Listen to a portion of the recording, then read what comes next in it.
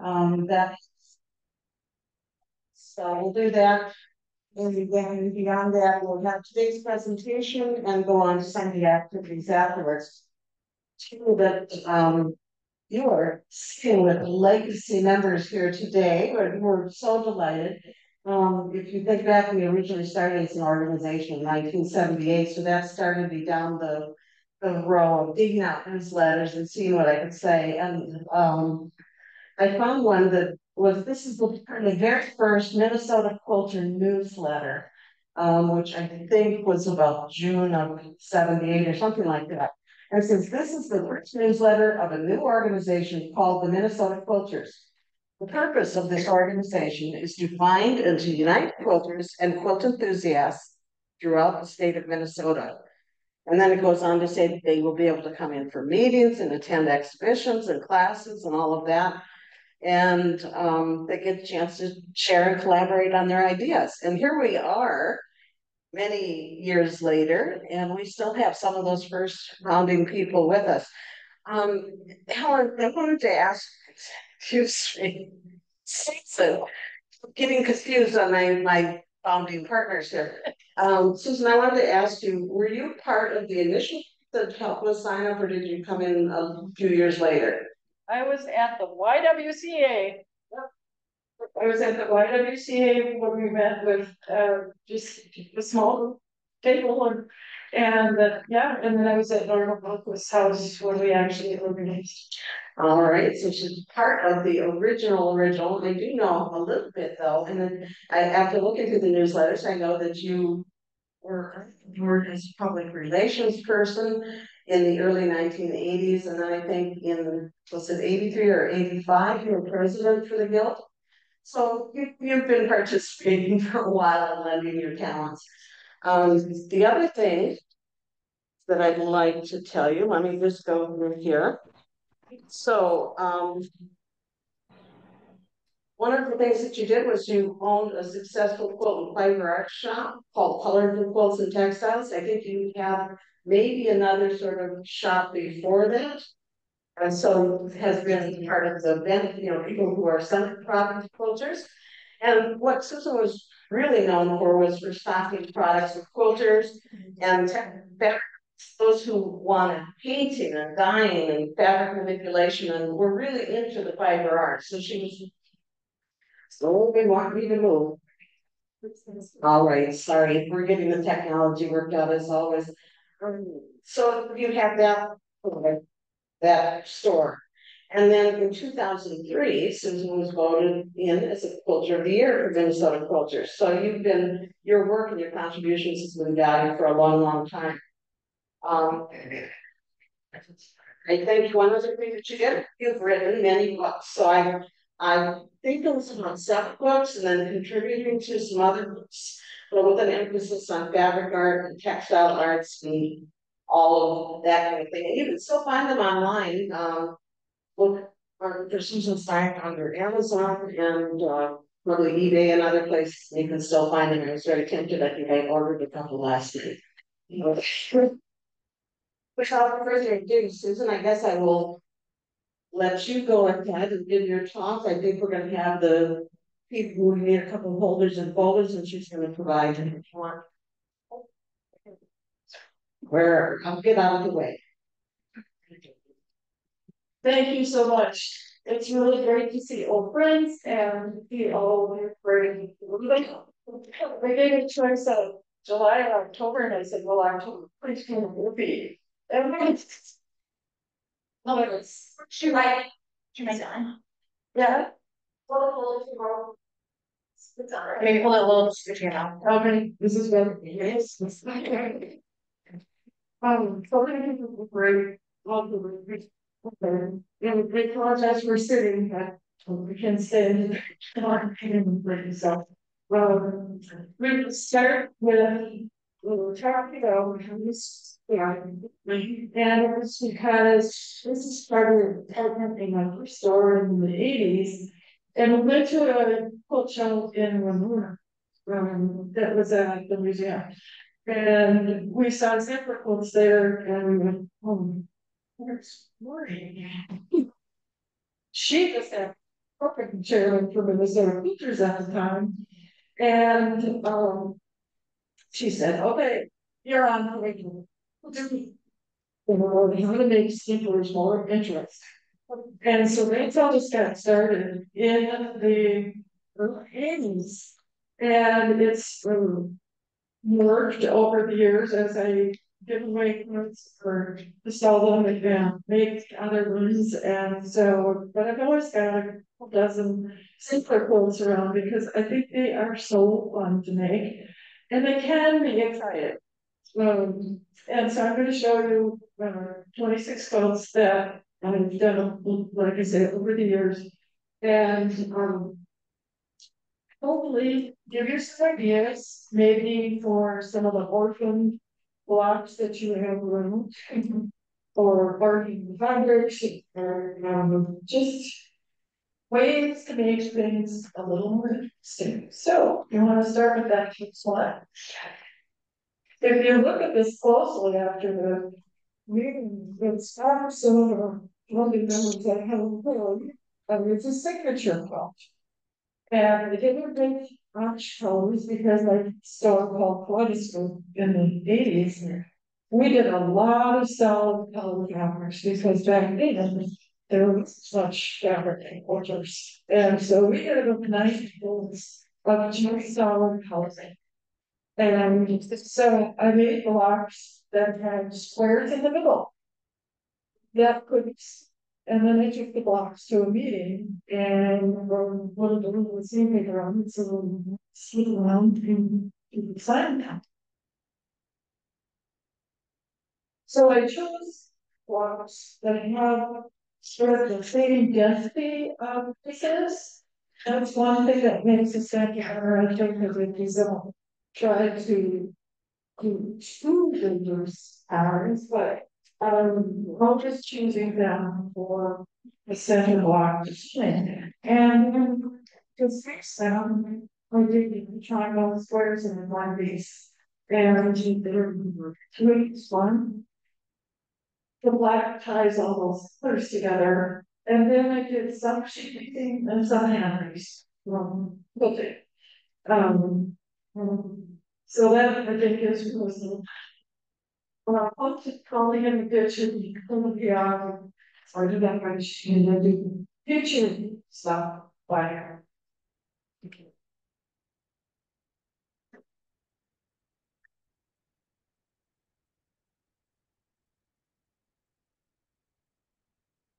Pink one's next. And this one. I call Monet versus Pollock. We had hand dyers at the store. You know, clothes store. And Mara Kuzera did very, very, very soft colors with her fibers. And Mark did very, sorry. Did very well colors and textures with her dyeing. And so I split the square alternate blocks between those two dyers. And then took a Cherrywood bundle and dyed banner from Brenner and split that into the lightest values and the darkest values. And so I did the diagonal rows. It's all the same place. But the blocks are not the only thing.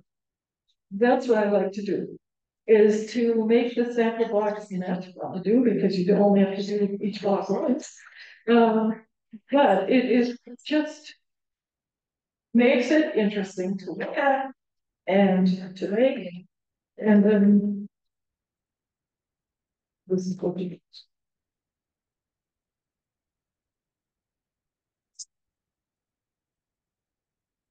Bring this up. Sorry. Yeah, I love it.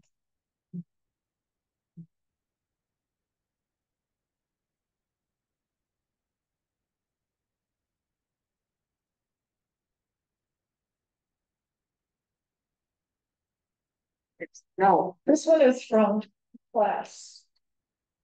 That I taught and one of the girls. I lost it. It's gone. So I think that's important. Yeah, the owl did.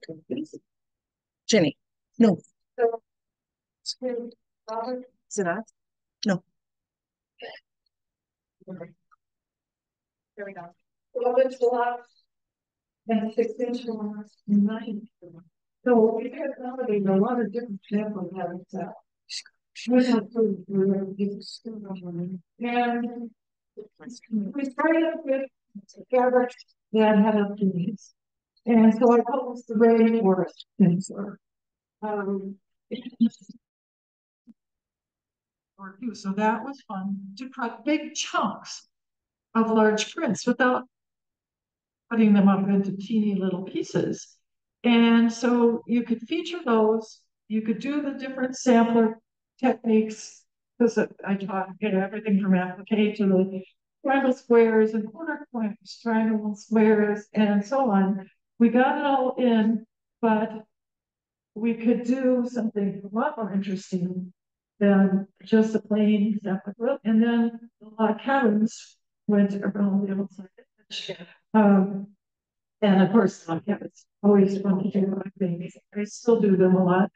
And um, the theme blocks, that might be something that's sitting in your stash.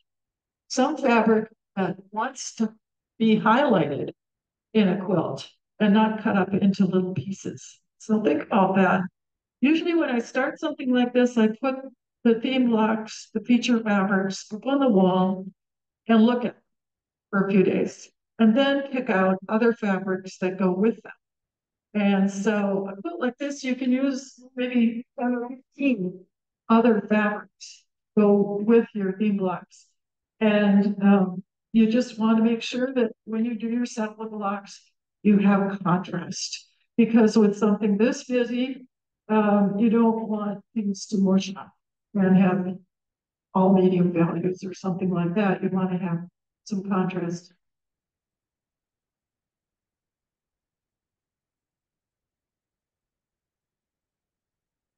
Next one is like the first sampler quilt in the series. And it's more of a traditional setting.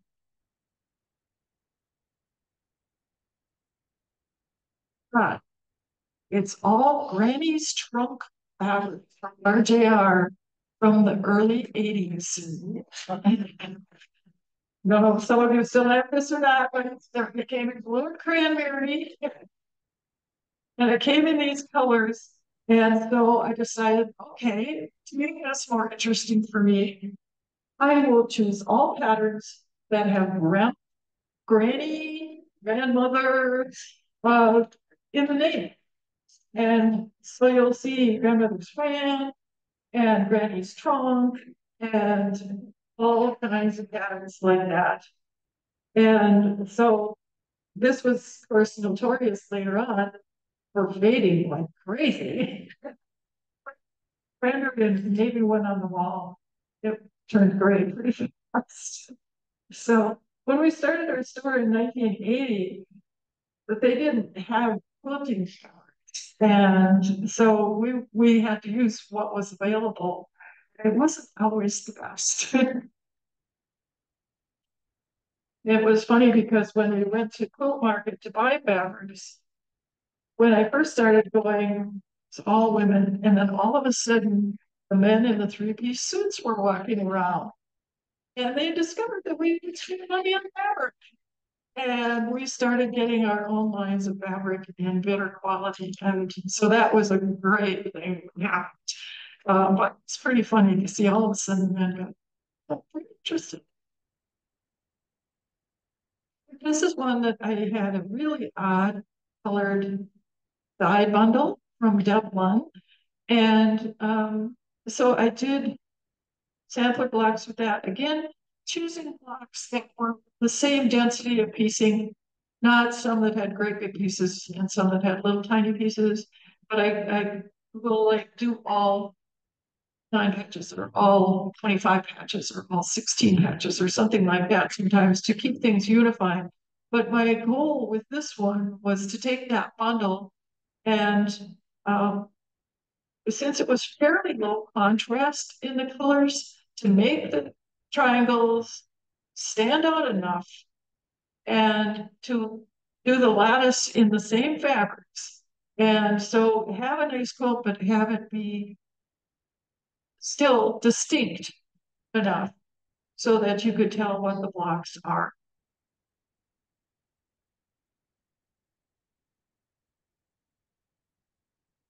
This one came about because I worked on the Singer Sewing Library quilting books. They had not done any quilting books.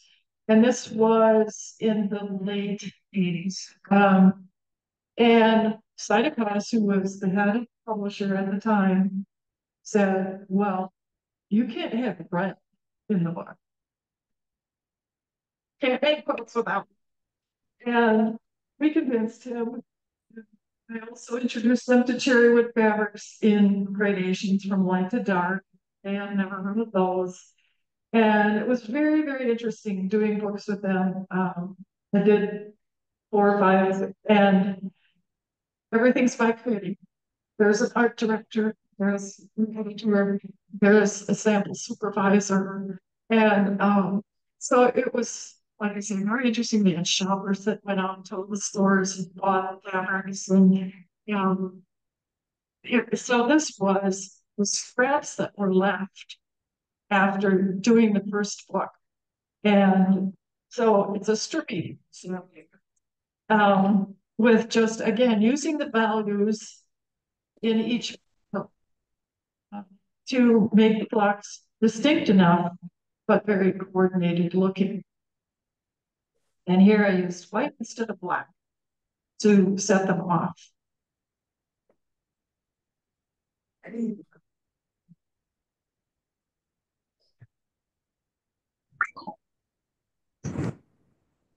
Dress.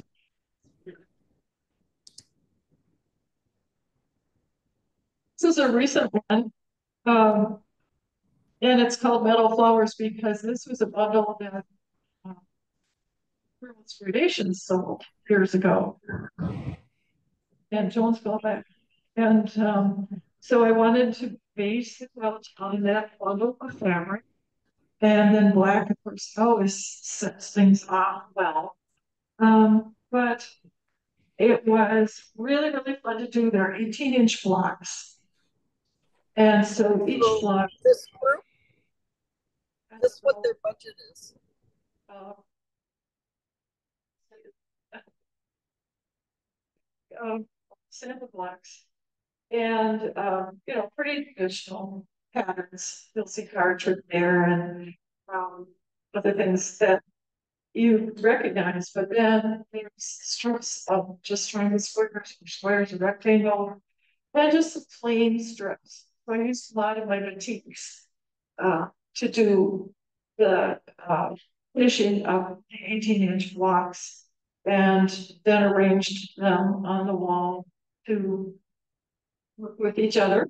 And so I think this is really uh, kind of small pieces. I think six inch sampler blocks are as small as I would like to go um, because anything smaller gets pretty hard, pretty precise. And here is another one that I recently. This has eight hand layers back. And um, so there's and people who aren't even with us anymore are included here, like Diane Nartels, the sun printed ferns and sumac. Uh, she used to go to Bayfield, Wisconsin with planks in and load up the van with partners and um, other plant life, and then go home again, sunprint, which means painting white fabric, or she used a lot of colored batiks also, and then putting the plant material on and then exposing it to the sun. And when it was dry, these things were printed. And recently I found out it does it anyway. Um, so, you know, um, and then lots of handwriters that I really, really you know, those pieces, but pile is dwindling and, um, that's not so easy to find anymore with Endire's selling their stuff, but, um, the sample blocks are here, but they aren't the main focus. There are other interesting things to look at.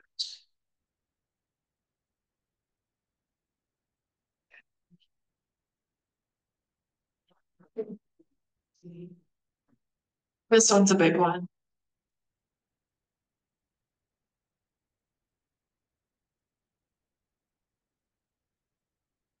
This is another block of the month. Uh, using a theme fabric again.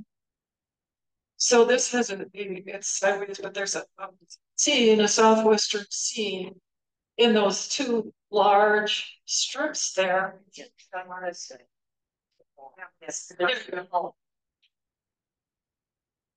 And then we did one or two blocks for the class. Um. And again, the sampler blocks are there. But um, not the only thing that you get to look at. And this one, a lot of people took this class and Trudy Johnson um, did one in Oriental fabric. And then she used her embroidery machine to do real fancy uh, Oriental motifs in any of the square areas, any parts that she put something into. It was so fabulous. Um, and we had everything from zoo animals to endangered species to, you know, the kind of theme um, carried out in these quilts. And they were really fun to see at the end of the year what people came up with. Um, they learned all their techniques, but it was a really, really fun way to do it. And um, it grew on your design wall as you went through the year.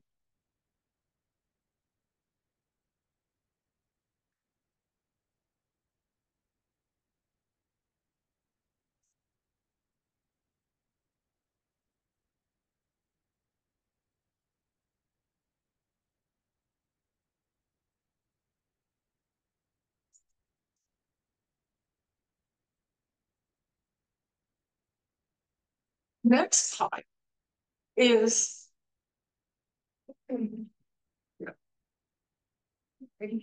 excellent technique samplers. Because I like mixed media a lot, sort of look at this behind me because it's got under the melted fabric to uh, just every kind of paper oil company that I could. This one was another block of the month, but this was called the journal because as we went through the year, we did all of those weird things like rusting down. And people were going back to the farm to find rusting metal. They were searching all kinds of places for different kinds of milk that they could melt. And we just really had fun with this class. So you can see that behind the horses there, that's rusted fabric. And yep.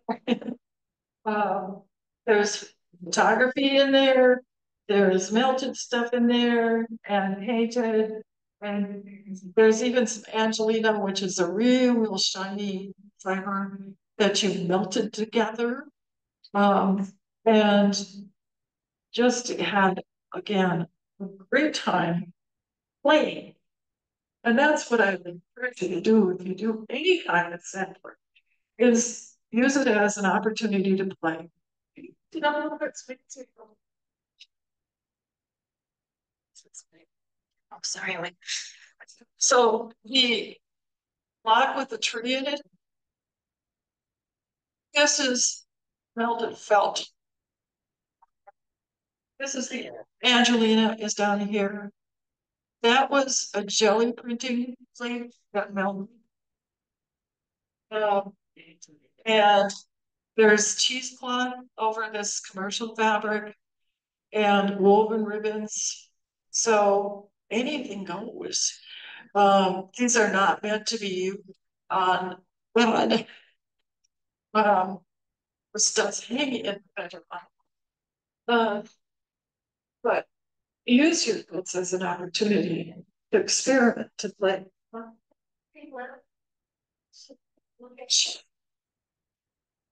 Before. Or maybe I'll leave you.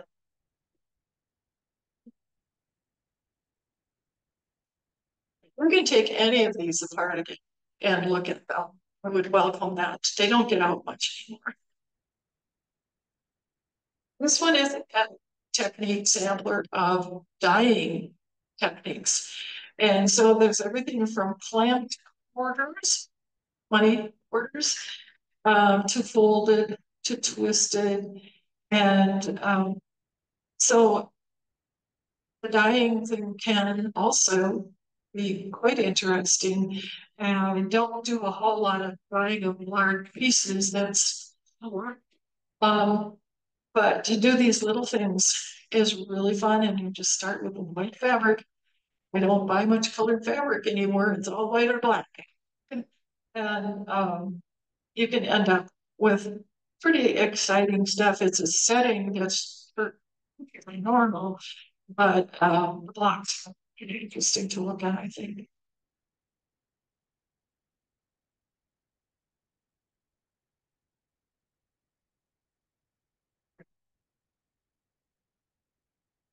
It's what I call pick a leaf. Again, it's lots of different um, techniques and, you know, the colored foil and the painting, melting, all things like that. Um, and the setting again is pretty normal, but you can look at it for a while and be interested in it.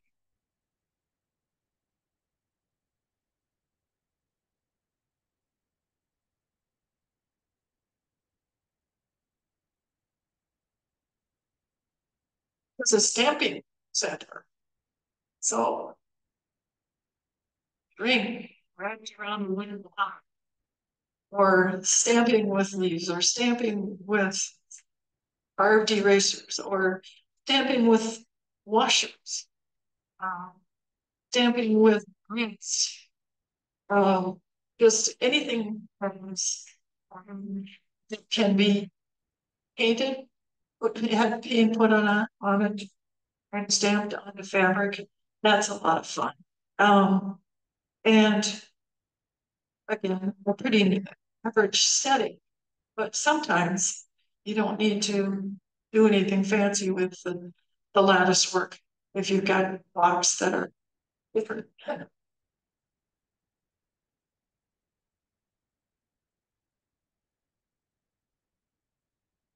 This is a jelly printing sampler. Yeah, jelly printing is taking gelatin and putting paint on it, manipulating the paint sometimes, um, doing multiple prints from it, or just dribbling paint onto the gelatin and then putting fabric down it and picking the paint up that way. Um, and so there's construction fence used here stuff that you see all over town. Um, and lots of ways to put paint onto the gelatin.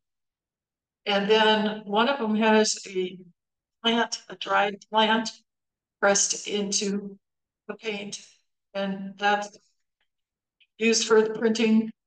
Uh, your imagination, you know, you can just let it go and just do all kinds of crazy things. You now have artificial gelatin, so you don't have to make it every time. Yes? Using, uh, white fabric for these things. Yes. I am, but it's not necessary. She, she asked if I use PFD fabric prepared for dyeing fabric as my white fabric, and I do. But the key to picking your fabric for printing is fine weave because it picks up the patterns better. So it doesn't have to be prepared for dyeing. It can be a EMA of any kind. But I think Kona is a little worse. Uh, I love Kona for my black. But I use a fine weave for the white. So it really picks up every nuance of what I'm doing. And I used to go to places where I would teach and make multiple pans of gelatin. And I always wondered what the maids thought in the morning when we saw all these Knox gelatin, which is in the wastebasket. Um, and then, of course, getting to form, you know, without refrigeration and all those things. That was really fun. So now when I go somewhere, I use foam rubber. but it is something that is just really, really fun. And it's still together with friends and have jelly printing parties. This is a sampler of playing with the filters in my Photoshop. I just have the cheap Photoshop. It's really old. But I can put a picture of a Gerbera daisy in there and play with the filters and spin it and do all kinds of things. And then I printed those images out on silk. And so it's a sampler of the film on my computer. But that's all the same Gerbera daisy. It's just manipulated.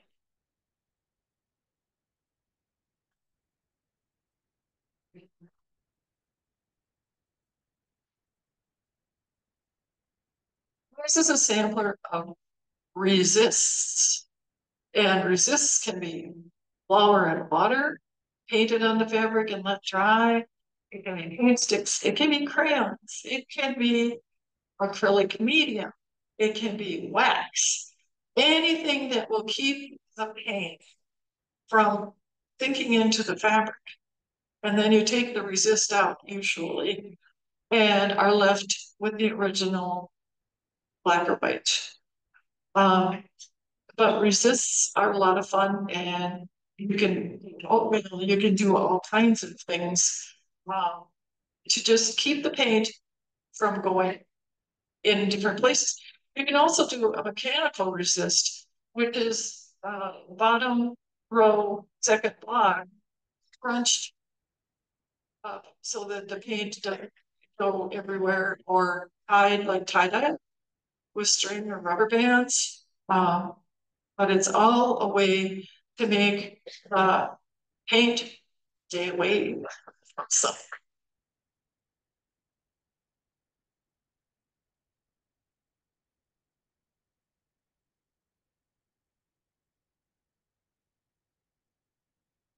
So there's no sewing in those blocks. None, except it was painted with a fork triangle, fork square, tangle, whatever. I took a placemat that was cork and put it into those shapes and printed it on the fabric. And so it's any sewing. And so you could use a compressed sponge or anything with a texture because I like the less solid look. I like the, the texture of the sponge or cork. And very easy made way because that work out. This would be a good thing to do with kids.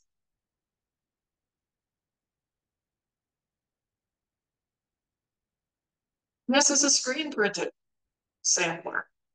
So everything you can do with a stretched piece of polyester. I use embroidery hoops or official screens, but you can put uh, fugitive media, they call it, on the screen, and that screens down onto the fabric. You can put um, threaded paper on under your screen. You can put Pellon shape painted things under your screen stencils. I don't teach screen printing as the hard way or the expensive way. It's using household items and masking tape on the screen um, are so many ways to do screen printing without um, a machine and buying the special chemicals and things like that. Uh, I started here with some blocks that I had done uh, dyeing on and then put black screen printing on top. Did I expose? Um, that's what I'm saying. You don't have to use that machine. Uh, the screen has masking tape on it, or the screen has a stencil under it, taped to it. Um, you're inking through the screen and through whatever you've got underneath it or on it. And that paint goes onto the fabric.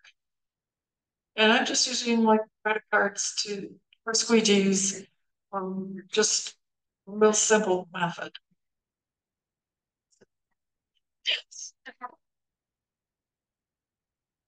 And now we're into another category, which is called one of a kind. This is based on a book by Judy Hopkins, a really old book. I don't know if it's in the library or not. Uh, if it isn't, let me know because I have two copies and I'll be happy to donate one. Um, she also did another edition of it called um, Design Your Own Quilt. And what it is, is taking orphan blocks or theme fabric or something and putting those up on the wall and then doing four inch sample block and arranging them all around your other uh, theme blocks and making a really fun project out of it.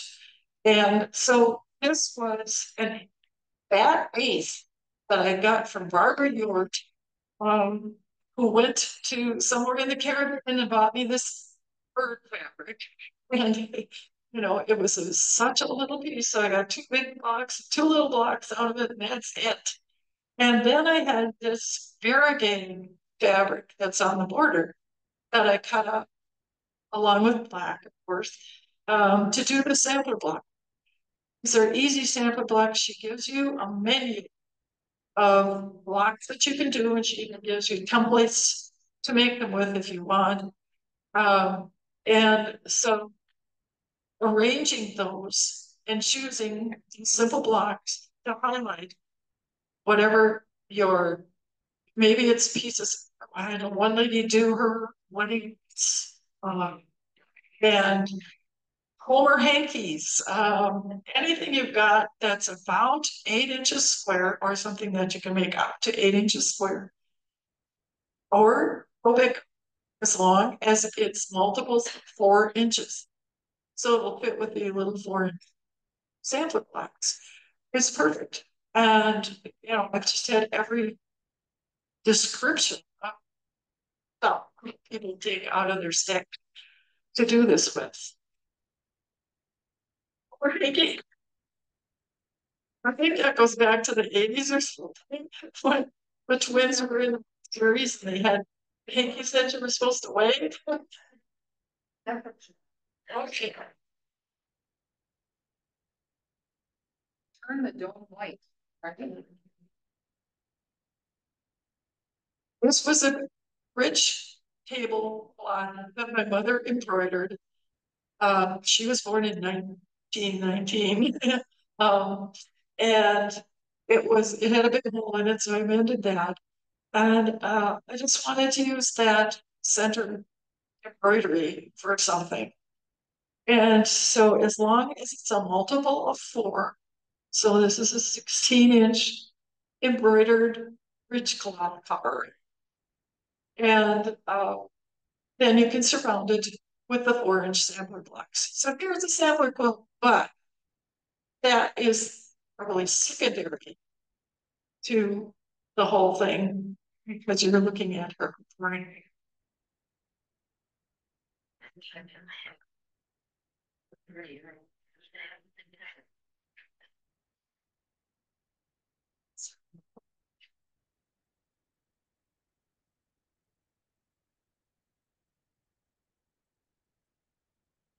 Some was some photos that my husband took at Lake McDonald in Glacier Park. And it was at twilight, so they're very blue. And so I just chose fabrics that would go with those colors to look like pine trees.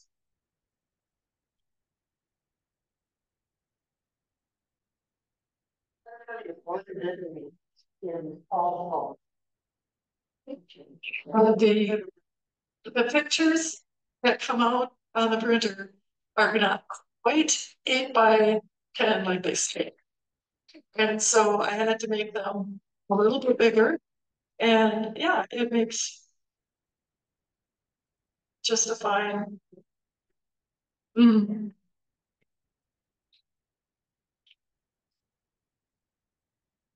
And I don't know if you're like me, but when I go to a show, there are a few impulse buys along the way. And, you know, these Indonesian batik blocks are so tempting. And so this one was masks. And, you know, what do you do with it when you get But um, a friend had given me as a gift a bundle of hand dyed fabric that was in the oranges and blues. Ah. And so this one doesn't have quite as many different sampler in it, but it was still fun to make that there and, and figure out what to do with her little gift of, you know, this little bundle of fabric and then one block. And so again, putting it well um, to play with it is key ingredient. And these last three are what I call background samplers because this the sample blocks are the background for the overlay of the brown grid. Um, I used dyed bundles of Cherrywood for the brown and the pink and the green and the gray. Um, so the sample blocks are there, but very underplayed. And the red sashing stands out, and then the brown over the top. And people ask me if I cut up the quilt and inserted the brown. No, I don't have that much courage.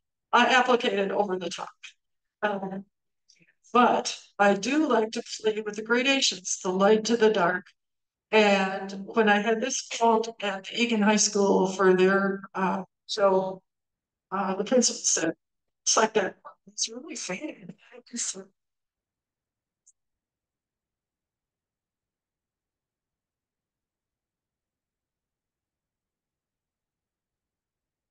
These are the weird colored fabrics that I saw in an earlier sampler. But here, I used to, as a background, I call this the Colorado tree because you see so many dead trees in the desert. And so I dyed a piece of organza. It wasn't quite as sheer as I had hoped, but it's a it's a lightweight fabric and uh, applique that over the sample blocks.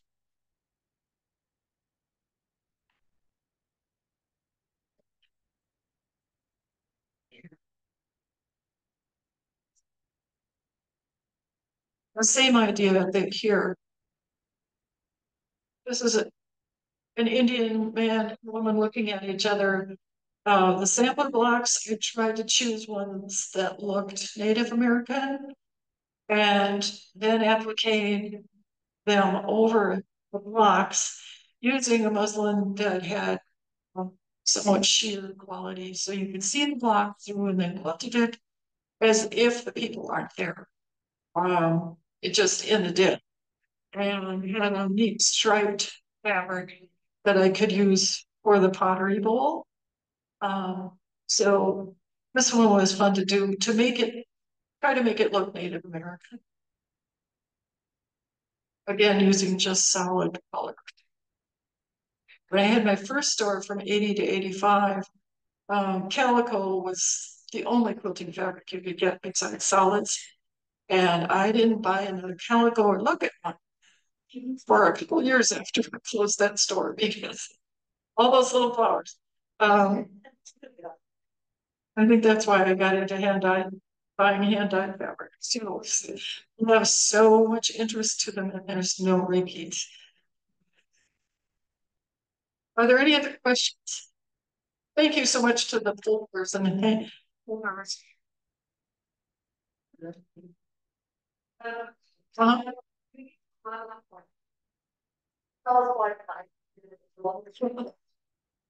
Uh, I use Kona Black specifically, um, because I love color and I want to out. Black does the best. Um, there isn't anything else quite that will compete with the other colors. Um, You have a great sense of uh design and color, and you study art? No, it's not in English. Which made my mother happy, but um. She was happy when I started working on the book because that was sort of trying. Yes, No, are you gonna write any more? um, publishing. Whole industry has changed so much.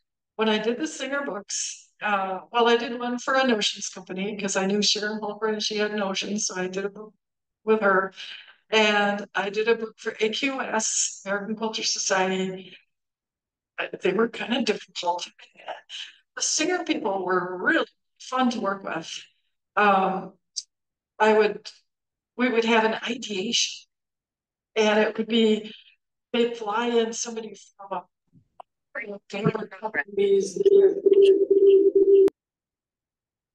And these people sit and, and think, what would you want in a quilting book?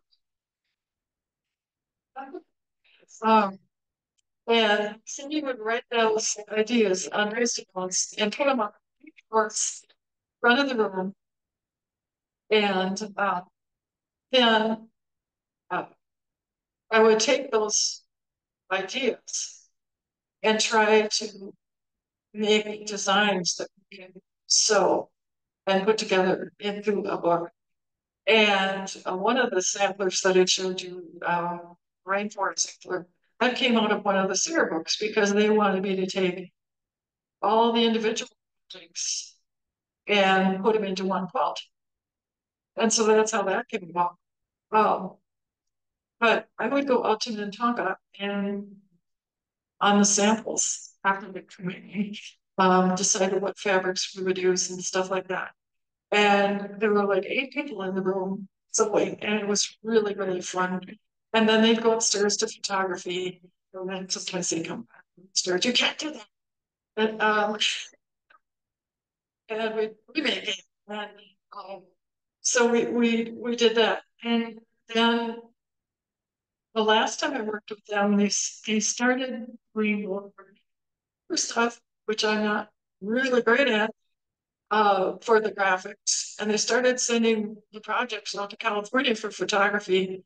And I went, that's kind of difficult, because I used to bring them boxes, boxes of bags labeled according to the spreadsheet and everything, so they could photograph them here, and then I could take them back home again.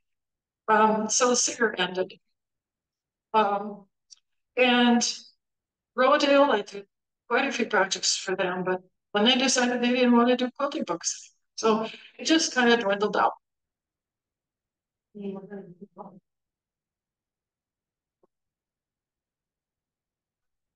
Thought of maybe doing a back one or something, um.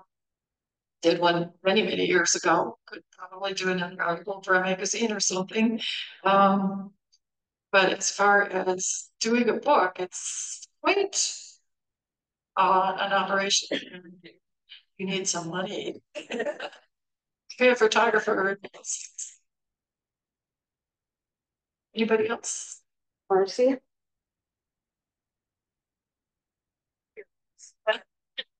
Curious, what's your ratio of extra block? Um, blocks like how fair we all are? Um, I am not afraid to fill up the wastebasket. Um. Oh, she, she wanted to know how fearless I am about making the blocks and if they aren't successful. Um, I give up on. Um, I. quilting involves time and money and you want to use them wisely. Um, I have one friend who says you, you can't or throw anything away because you can always put paint on it or foil or something like that and, you know, working on it. And I, I do sometimes resurrect things by doing that, but um, one thing I do to prevent failures is use the design board. Um, even when I haven't sewn the block together, I'll put the little pieces up and look at them from a distance. Or you can always use your phone or take a picture, lay them on the floor and take a picture because you can really tell right away without sewing anything and having to rip it out. What's work or not. But I I don't I try not to charge ahead without taking the time to analyze. Uh, We talked about the are hanging behind you. That one um, is all leaves. I've done many, many leaf quilts. Um, if you're familiar with Sue Benner, um, it's kind of based on her style with the uh, black lines kind of waving through and, and the leaves cut out, positive, negative, that kind of thing. Um, both of these quilts start with a black piece of fabric on the wall. And then I choose or I make elements to them. And arrange, arrange, arrange until I'm happy. And then I usually just pin them in place. And both of these quilts have just red quilting on them. So I do not uh, try to make that a perfect red. Uh, I will draw one horizontal and one vertical line with chalk to start. Then I work out to the sides and the top and the bottom, trying not to make. Um, but I use a walking foot. I find that a lot more relaxing than free motion quilting. And um, the quilts everything brown. I mean, the little pieces are fused on, but the blocks themselves are just pin on visually, and then wilt them down. And if you quilt every half inch or inch, um, touch everything, it's has a little corner of a leaf or something that's curling up. I'll put a little tiny glue under it. That works. And this one is just a real hodgepodge of things. The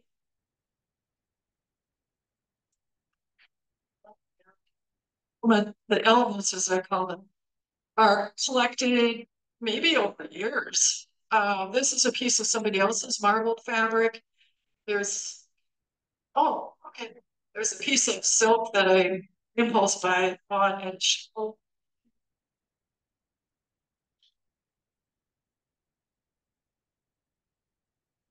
I think it's from bond, Jimmy. Um, and this is Wonder Under that's painted. And you want it to rip. You want it to not be perfect. Um, painting and uh, pieces that I've collected uh, and bought.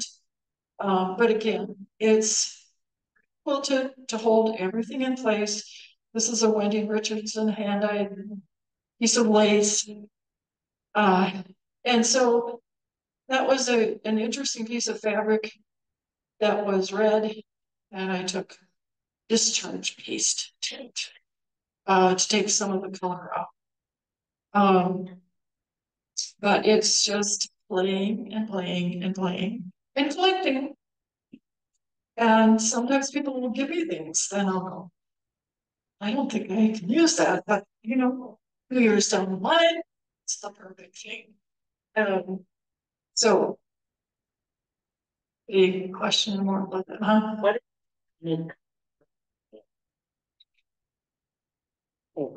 Foil. Oils. No, no. Let's get over to twelve. Right here? No, no, that. There's not good black. Black dye. About the circle here? No, there's. Yeah, it's under, under, for year, yeah, and it comes out oil, like, well, it, I use Lumiere paint, it's just metallic paint. That's why. that's. Yeah. Thank you. What is your favorite um paint to use? Well, lately, when the pandemic hit, I started doing sketchbooks. Because there was so much, there were workshops online and, and there were so many things you could do without um, having to go to a store or anything like that, you know, I just bought sketchbook and, and played with paint. So I got used to using acrylics, just uh, Liquitex acrylics in and um, I tend now to grab those, even for fabric. I always used to use Jacquard paints um, that were for fabric. But now that I'm always doing wall hangings, um, it doesn't matter if it's a fabric paint. And so the nice thing about the acrylics is that so many colors. and they're the right consistency for screen printing or painting or stenciling or stamping. You don't have to do anything to them. Uh, Whereas when I used to Jacquard, there were four different kinds of paint that I bought, and I still use by Jacquard if I want really soft fabric when I'm done. So it looks like it's been dyed rather than painted. I still use Dye-Na-Flow quite a bit. But tend to grab acrylics now. Do you add medium to the acrylics? No, because my stuff won't be washed. And I don't care about the hand so much because it's gonna be on the wall. I just wanted to add one thing, um, when you look at Liquitex, artist grade and a student grade. And the artist grade has the intense color.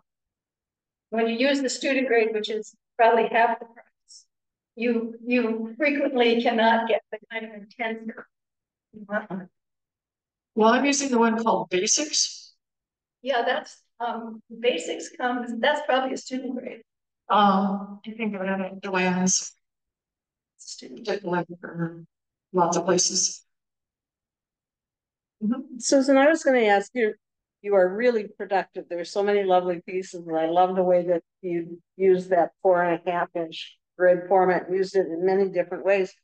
Um, are you ever selling your pieces? Oh, yes, yes, um. I will say anything. Um, my son has taken a lot of my stuff, but I still have over a hundred coats at home. And if anybody ever wants to come over, please, left my business cards there. Cross off the uh email because I have a new email, which is Susan Steinquote at Gmail. Um, my phone number's on there, text me, whatever. If you wanna come over and look at quotes, please do. I have uh, several series you do with friends, uh, challenges that are like twelve by twenty. What, twelve one, we did one a month for a year. Just couldn't bring all the stuff I would like for. Um, but I always happy to show off the quilts and I also love it when people come over and play with me. Brenda's done that several times. And um, so I just come and play with paint or, you know, you give me a few bucks for paint, you don't need to bring anything. Um, or if you want to bring a few friends and actually have a tutorial, we can do that. Um, but I really love it when people come over and they live in Whiteberry. Just stop at thirty-five E, um, so. What a range that. I always provide chocolate. Um, So. Oh. I have to tell this story. Here's the microphone. Here's the microphone. Susan, I came into your shop about twenty-five years ago and I didn't know cherrywood from applewood. And, um, I wanted to make a queen size quilt for my husband's wedding. Wedding, uh, his brother's wedding, I'm sorry. And I, I was just green as grass and you said, well, you want my idea, and when you put up that one with the um gradations, I just had this trigger, this flashback. And you suggested that I do um. Oh oh my god. Blocks. It's the blocks that have the, that have the. That is where the source. Have okay, spring. And um, you suggested that I do the gradations and to do it's peach and teal. And you said, just, you know, you go and get graded eight gradations of Cherrywood. and Anyway, you told me how to do it and how to think about it as a light source. Uh, I, I brought home everything I needed and my husband said, God, he's not even your brother. You Just invested four hundred bucks. That's twenty. And then I had to buy the matching threads. And I said, well, gosh, I said, I had this expert and she's so. God, I, and I, I wonder, you know, later, uh, when I look at those pictures, it sort of dedicated expert Cherrywood because, I mean, I have since been filling their coffers. Money, thanks to you, Susan.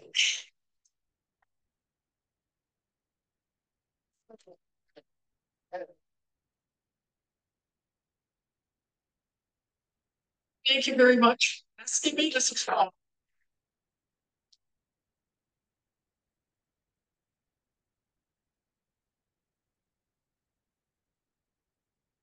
Thanks to everyone who was able to be here and listen to this, and I hope that we had as much success with uh the people on Zoom, getting to see all of the quilts once we figured it out.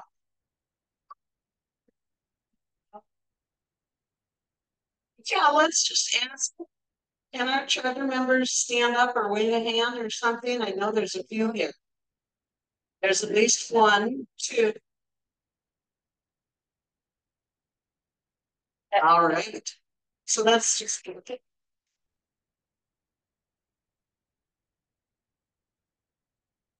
I just want to say that, you know, this organization amazes me, and every time we step up and volunteer, to do something or participate, and it can be. You know, the simplest thing from helping people check in when they come to a meeting, helping with a class, teaching a friend at a retreat. How to do something that they haven't done before. And it's, it's the willingness to chip in and to everybody just to step forward and do a little bit. that makes the whole come together, and so I have to thank Susan and our other charter members. Dan, do any of you know what your, your number was? We used to number our membership.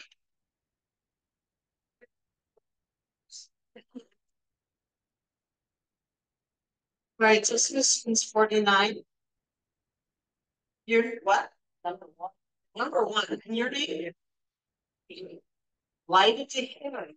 Number one.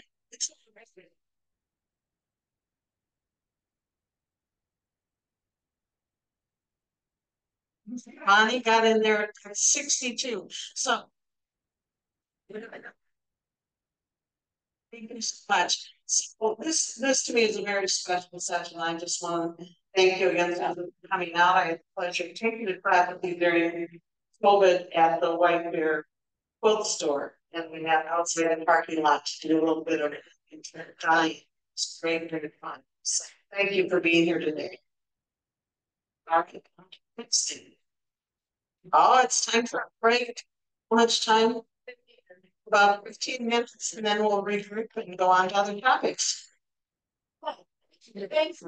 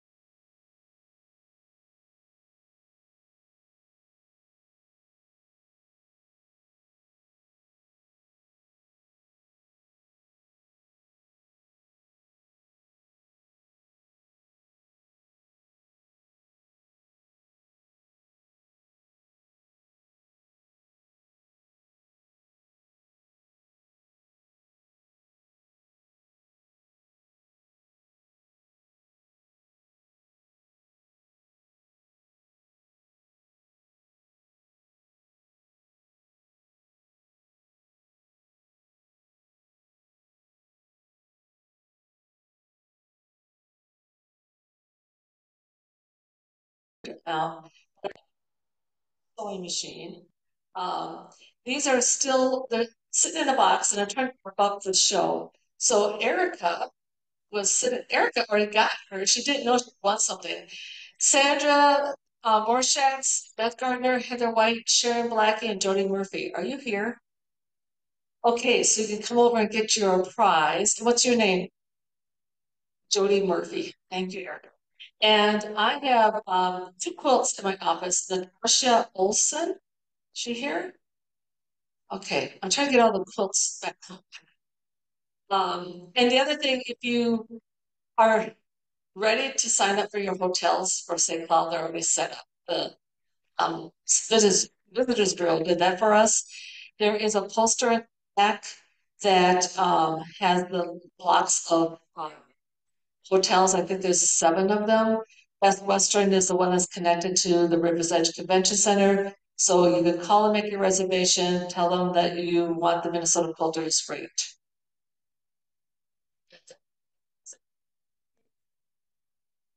Does anybody else have an announcement? Okay, show and tell then. Does anybody have a show and tell they brought with them today? Okay, shall we do those first then? We need to have.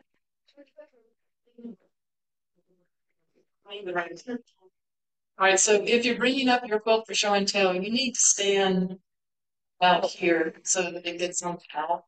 Right, right. Very good. First sign up, and if you could sign up here. Line up from here. Put your name,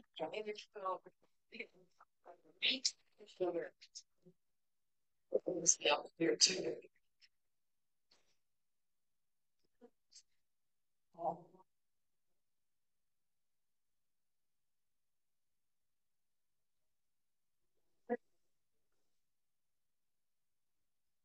gonna switch me. It's it's probably, Okay, so is it there?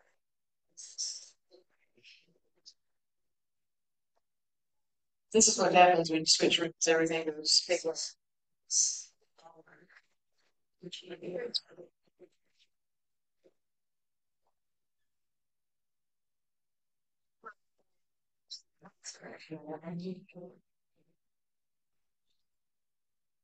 It's like.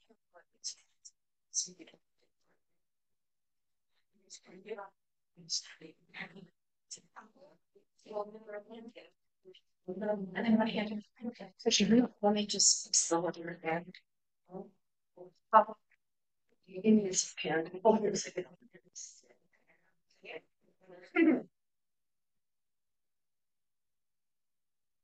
All right, uh, this baby's been in a, um, a dresser for about twenty years or more.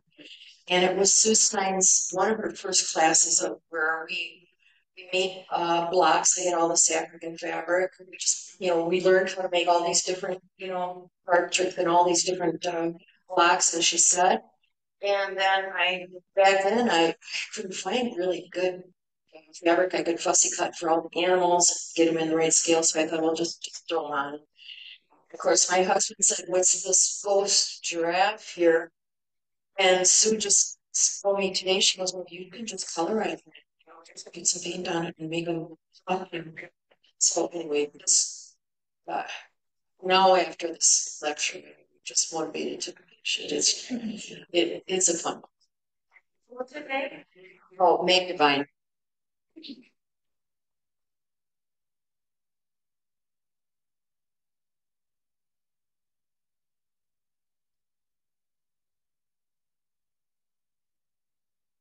I brought two quilts today. Oh, Diane.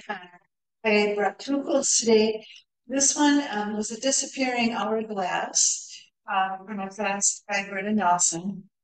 And my a friend of mine gave me all these fabrics, and I still have a lot left. So I'll be making a lot of these uh, disappearing quilts. Um, and I didn't put a couple pieces in the back, which I don't usually do. But I have so much of this fabric, I thought I needed to use them. And then, uh, so my daughter's husband is finishing off their downstairs level. And in the corner, they're putting a red fireplace, you know, fire stove.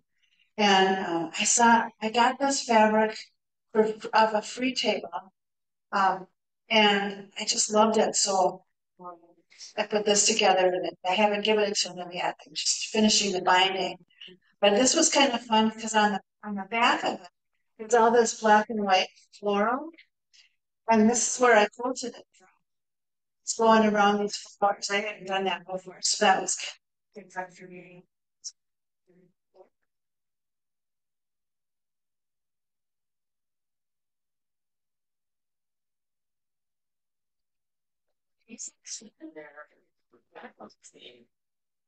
Uh, I worked on a sample program twenty twenty-three as a, with group, I'm, um.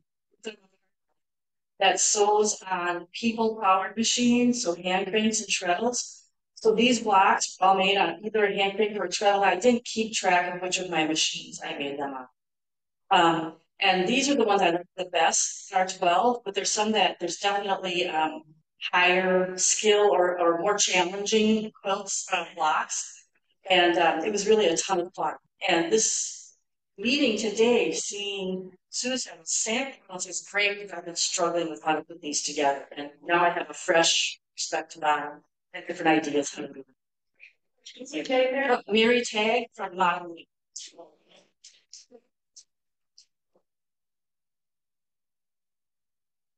Man, so I have two black quilts today. The First one I got, um, the poppy fabric at some shop in Western Minnesota. Um, and so the orientation is actually this way on the bed, but um, just needed something big to keep those poppies alive.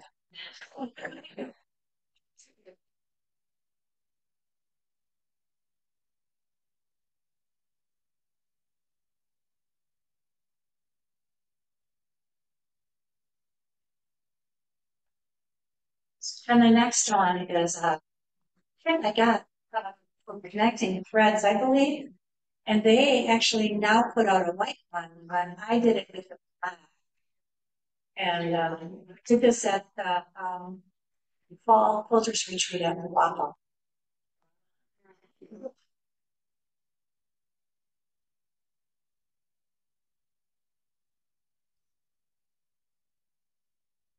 It's for my niece, um, at Queen Bee Quilting was translated.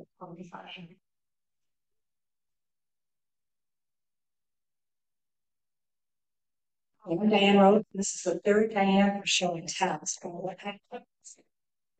My, nephew and his wife, Lola, got married on February 29th. But anyway, this is a wedding quilt that I made for him and for Emily. And, uh, did not have it quilted before the show, so I came back and said, what am I gonna do? And then I remembered I bought this really cool ruler, the show. That was from my new favorite shop, the Wall Quilt. And, um, it's just, it's kind of a wavy on one side and then a smaller wavy on the other side. Quilted it myself, and, uh, I thought it came out pretty good.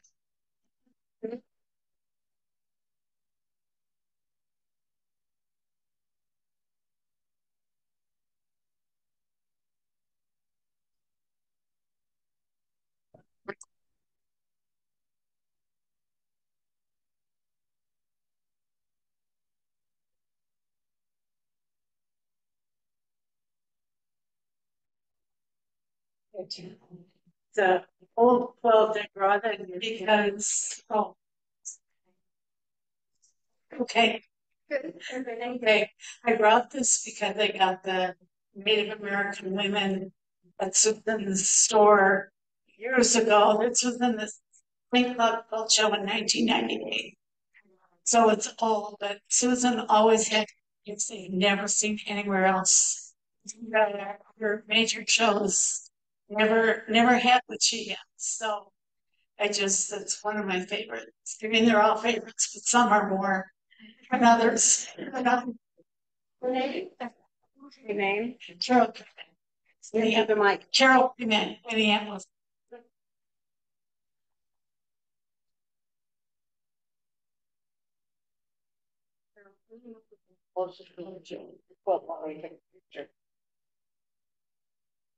The.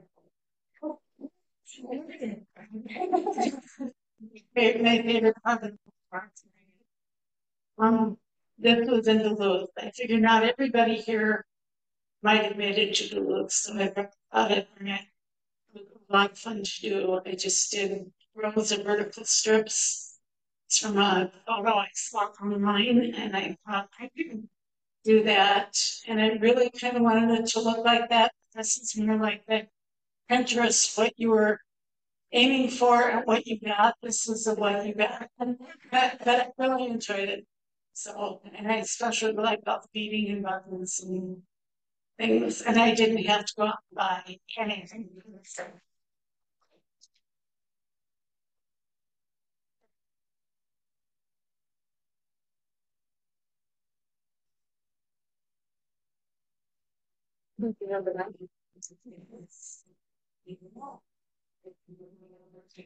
I had Captain Brooks and I finished up couple of London's here. Both these quilts are made out of Liberty of London fabric and I've been collecting Liberty since I went to college in England and it used to be that you could only buy the fabric in England. You can buy it anywhere. It's still expensive though. So um it's called Ties and Parts and the wheels are English paper pieced. And then they're hand appliqued onto the quilt and then it's um hand quilted. So it took me about eight years to do this one.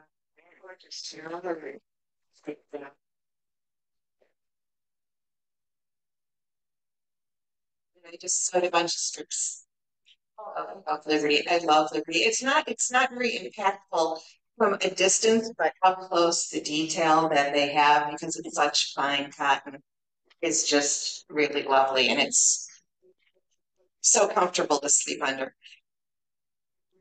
And here's a small one that I spent um the last two years making. It's hand appliqued and hand quilted and it's just a clamshell baby. It's. It's guys.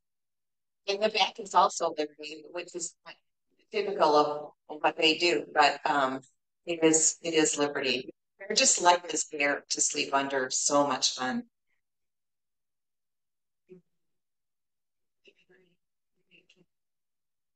Hi, Laura Nagel from Apple Valley. I knew no matter where I stood in the line for show and tell, this was going to be pathetic. But I brought it because it, it was just started. I think just the watering can was done. It was on the free table. And it was an MK pattern that I'd always wanted to do. In fact, I wanted to do it so much that I bought the pattern twice. They're both out on the free table. Well, anyway, here it is. It's finished, and I've been waiting to bring it for show and tell. Now I can give it to my friend who likes to garden all the time. And when I saw that my other friend was here, I said, I have to go before you because wait till you see what she brought.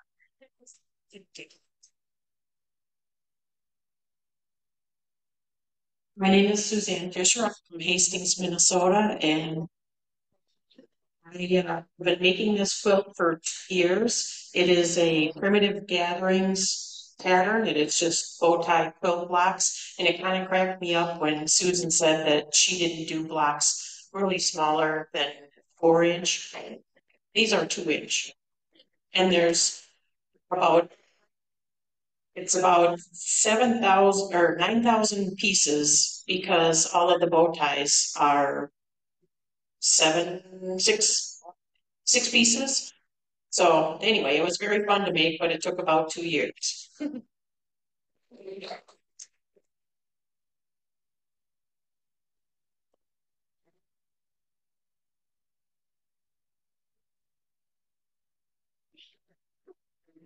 I am Rebecca Ingram.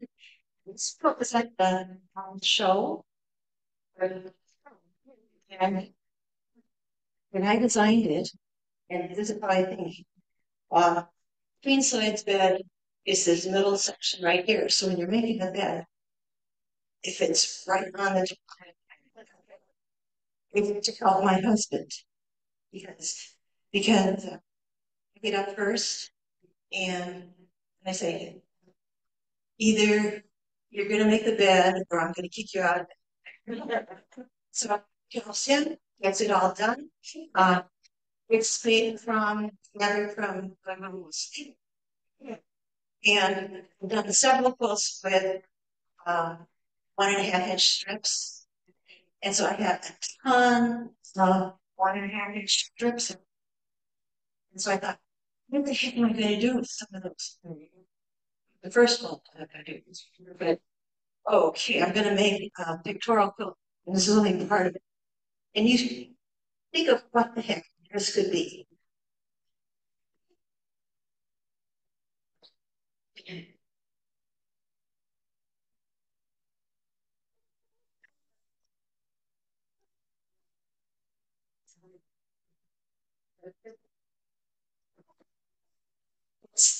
Red spot on Jupiter. It's, it's it's the big red spot. And it's for my grandson. And uh, after Jupiter put us, it's supposed to either be a moon up in up in the upper part, or it could be the Death Star. So, so you do scraps, and then one and a half by two and a half, you can still do stuff. Have a good time.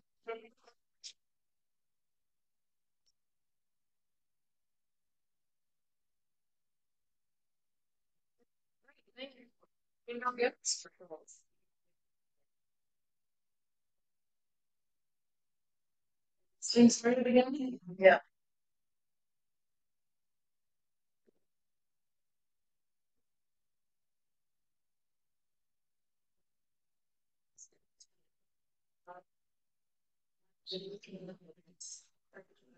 Sure, like that. I haven't said anything yet. Um, these are from the, some of these are from the quilt show, I- all of them are from the quilt show. If you're here, your quilt comes up, Let no, um, I think Thursday night, only one person was here, we showed all these, saying, we showed all these. So, um, And I can't hear you. Have to hold I can't see. Um, Fairly technical, just just um, get shared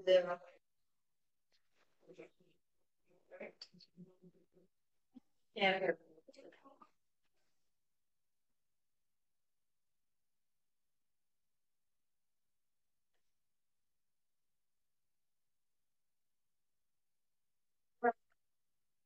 Silent.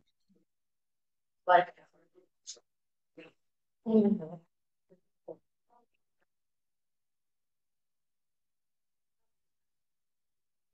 We go, family jeans.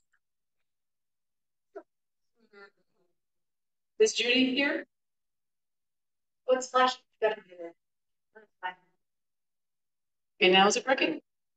Alright. It's off. Okay, this is Family Jeans by Judy Olson. Is Judy here today? No? Okay. There it is. Um, I believe this was a lot of them here from Jean's part. This was an upcycle category. Okay, Diane, I saw you. Are you? Would you like to say something about your fault?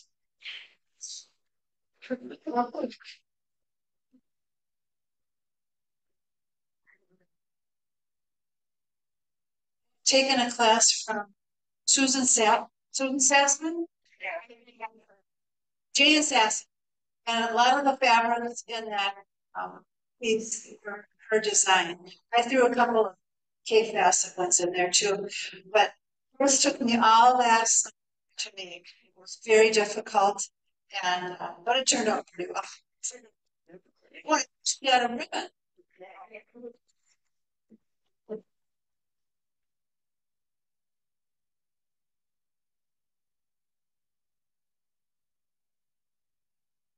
Anybody uh, related to Eddie?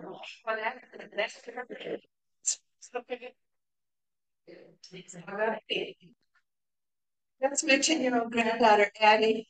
She, um, you can't tell but that feature fabric has a gnomes in it. She has a thing about gnomes this year. Um, so she named it Gnome City.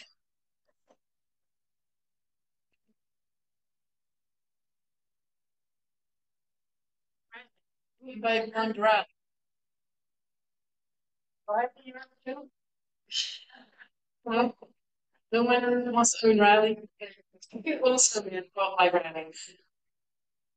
Jan Redstick. Kaleidoscope kind of quilt. Karen, Carol Hanku, she does lunch at a little exhibit with about a dozen quilts in there. Haven't seen her today either. That was a great exhibit if you didn't see it. Karen McTavish's quilt.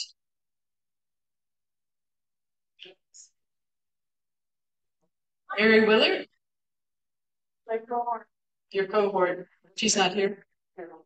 She did the, um, the challenge quilt, sorry, yes. First time she ever entered anything in the quilt show and she won first place. Yeah, it's a good.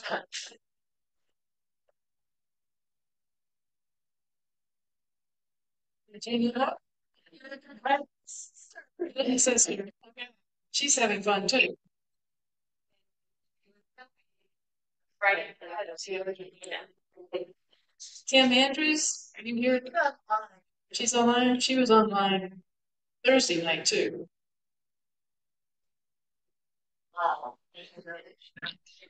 Yep, I'm here. Do you wanna talk about your quilt?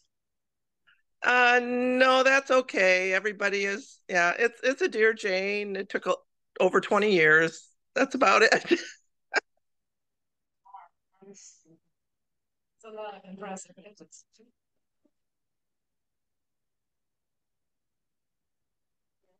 She tried her newest choice. Is it one of the, in fact, her finish up for the award. We give out awards and judge and not judge for municipal residents, and she won a lot of prizes.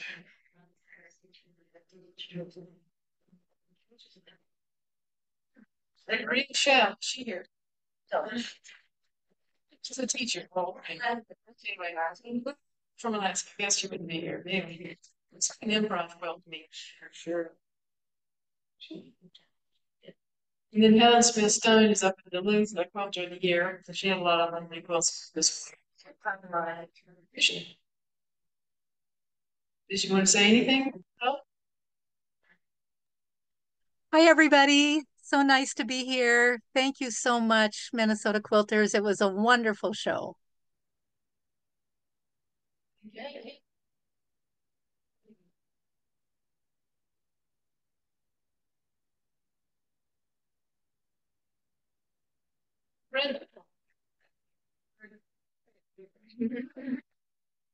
Um, this is a quilt I made for my daughter Sophie and Nate for their wedding two years ago.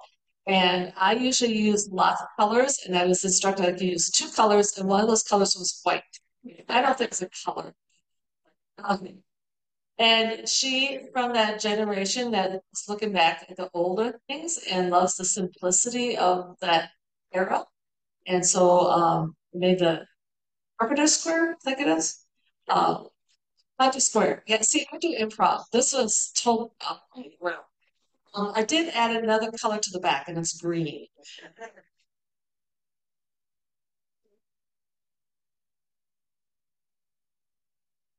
And Marie, I think I saw her today.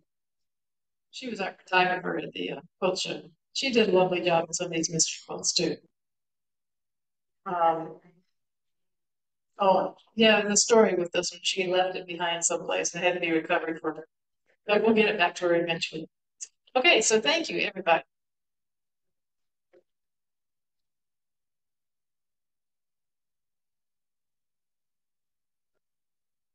How are we doing this? Um, we do this here first.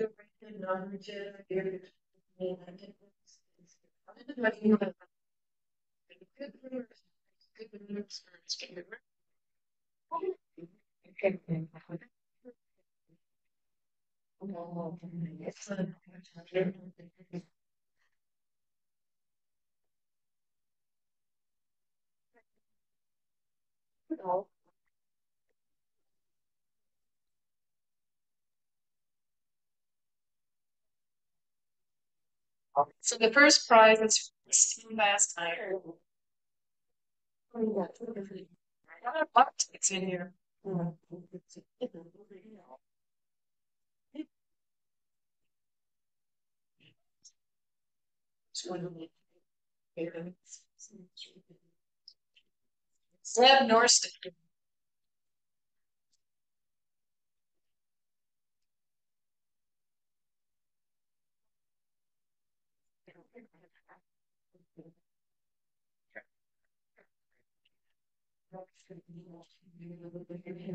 This is for the uh, quilt more, quilt more worry less wall hanging.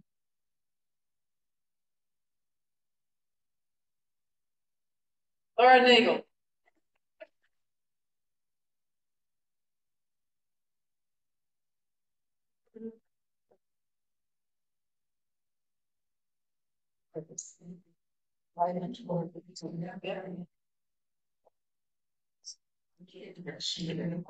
These two got together. All right, so Pinwheel Garden and Honeybee Lane. Um, patterns. Mary Tag.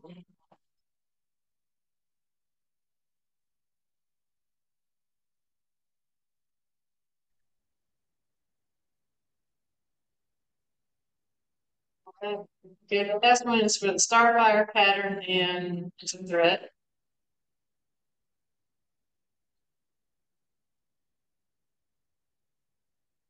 Loretta Stone.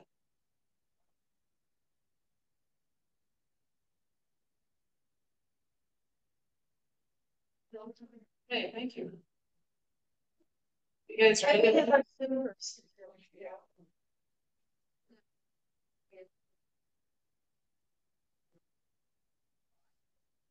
Yeah. The guy was. She got Lorelei Boyer? Lorelei, oh, are you still on Lorelei? Great, congratulations, Lorelei Boyer.